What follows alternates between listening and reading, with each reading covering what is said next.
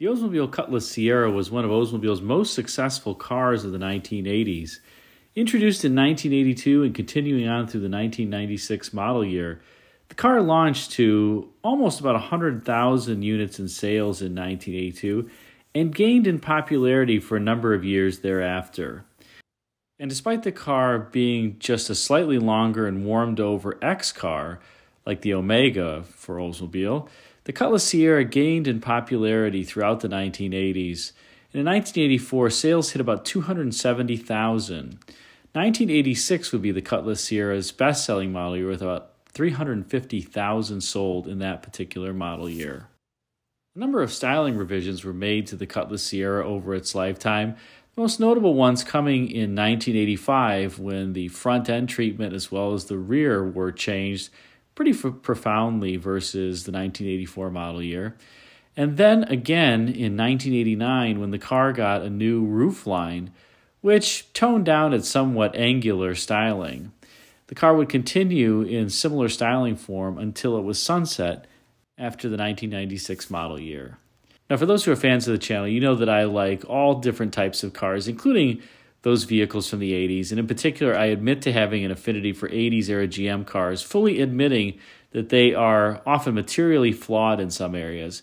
But that's just what I grew up with, and I have a sense of nostalgia for them, including these Cutlass Cieras. Now, this is a super unique Cutlass Ciera, and it's so unique that I felt that I had to share it with all of you.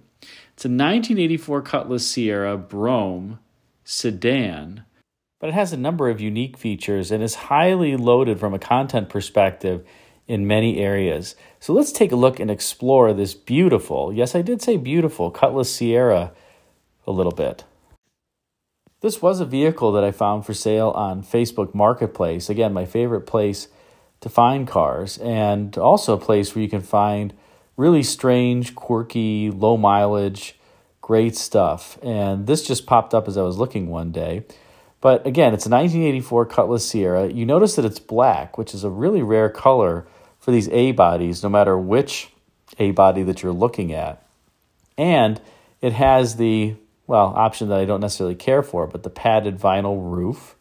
And on the exterior, it has the luggage rack, which gives it some European sporting flair, I suppose the GM designers of the time would have said. And while the black is certainly an exterior color that you wouldn't expect to see on a Cutlass Ciera like this, it's the interior that offers even more surprises than the exterior. Just check out those red leather Brougham button tufted seats that fill this interior, and you can spot quite a few options from these photos, including cruise control, tilt steering wheel, power seats, air conditioning, sunroof, among other things. Everything appears to be in excellent condition, almost near mint, whether it's the exterior or the interior. And the car overall just looks like a real gem.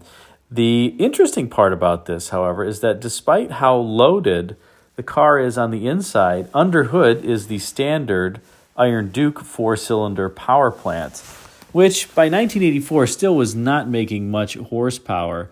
It really topped out at 92 horsepower in that year.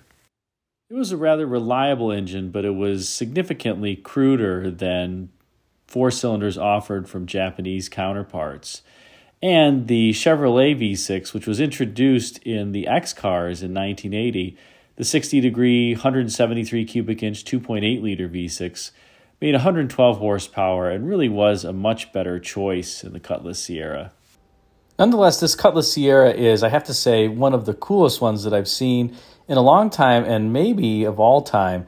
Just the color combination. I really like this 84 front end with the split grill. Olds, for whatever reason, went to this twin port grill theme, pretty similar to Pontiac, and employed it for a number of years.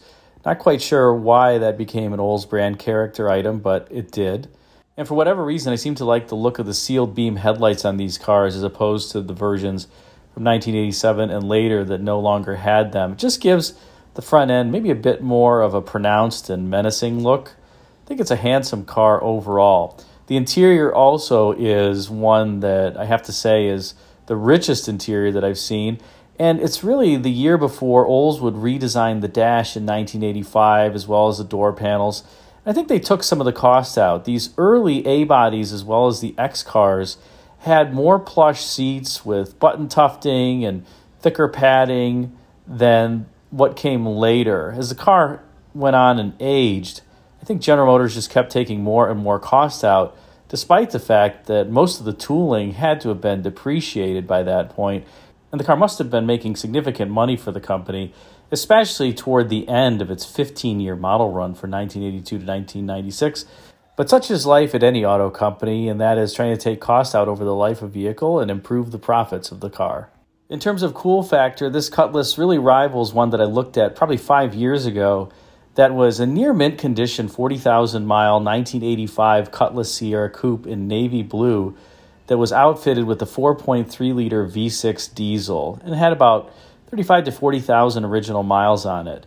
It was in great condition and at the time the price was relatively high. I think the seller wanted $4,500 for it, which for that particular car I felt was just a bit high despite its overall condition. And I kind of regret that one a little bit. Those V6 diesels, no, they weren't perfect, but it would have just been cool to have something that was so very strange that no one else had. And I really wanted to experience that V6 diesel. I've owned the Oldsmobile 350 cubic inch diesels in a 1979 Cadillac Seville that I once had. But I've never driven one of those 4.3 V6 diesels, and I just am curious about how they drive, especially given that they're based on the Olds V8 and have a 90 degree V bank. I just wonder how smooth they are relative to the 3.8 liter V6, for example, which also has a 90 degree V bank. In any case, I digress, but I thought that this 1984 Cutlass Ciera was something worth showing just given how contented it was, as well as the color scheme and options.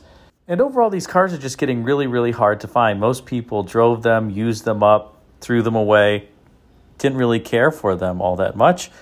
But I think that they're a great piece of nostalgia, particularly for anybody who grew up in the 1980s.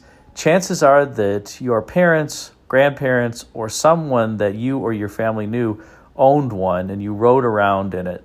And to be honest, I've owned an 86 Cutlass Ciera with the 2.5 liter Iron Duke four cylinder, and I put many miles on it, and it served me quite well. The only issues that I ended up having with the vehicle were the rear wheel cylinders, alternator, starter, kind of typical stuff for the time. And of course, it started rusting. These are notorious for rusting, unfortunately, particularly at the bottoms of the doors. But by that point, I had gotten my use out of it. It still ran really well. The engine sounded like a tractor or a diesel, but the car rode great, drove great, and it was extremely comfortable on the inside and I think I paid fifteen hundred dollars for the car, and it had thirty thousand miles when I bought it. I sold it with almost a hundred thousand. It was a pleasant experience overall. In any case, we'll close out with the audio from the demonstration cassette that you would get if you ordered the tape player in an Oldsmobile in the mid 1980s. With the jingle, there is a special feel in an Oldsmobile. This one should bring back some memories. It's a super catchy jingle, and certainly won't hear this anymore as a principal advertising slogan. Thanks again for watching.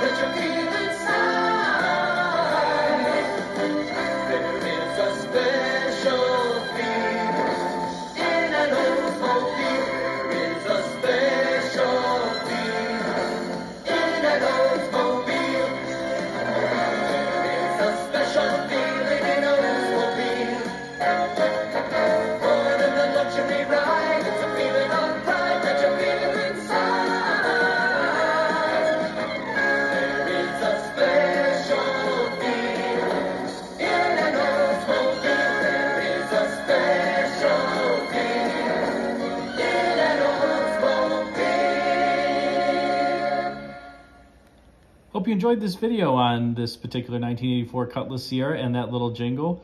If you did, be sure to like, comment, and subscribe. And until next time, check out the video thumbnails at bottom left and right for some suggestions for you.